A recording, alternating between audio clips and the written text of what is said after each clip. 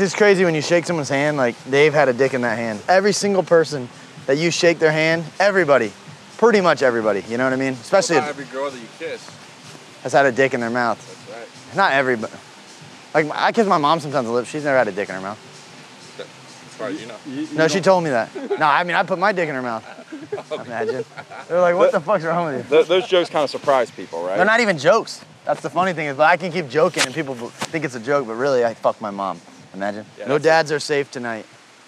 There's like this small percent of fans of mine that think I'm gay. yeah? Yeah. Small? Well, I don't know. I, I don't. I wish I knew the number. Might be half. Yeah. Half's not that much though. Depends who you ask.